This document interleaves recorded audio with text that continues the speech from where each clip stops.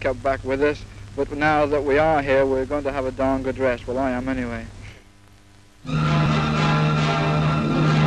Denis Compton, acting as umpire a charity match at East Molesey, couldn't resist handling a bat to see how his knee was getting on.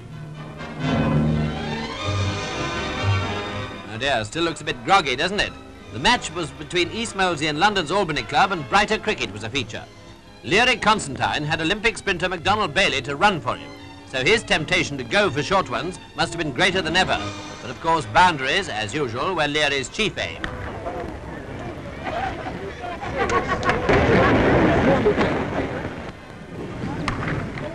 He was eventually caught at 99 when trying to complete his century with another mighty crack.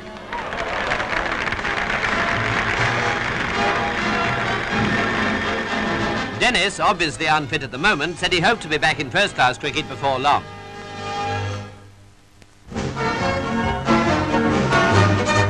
Henley Royal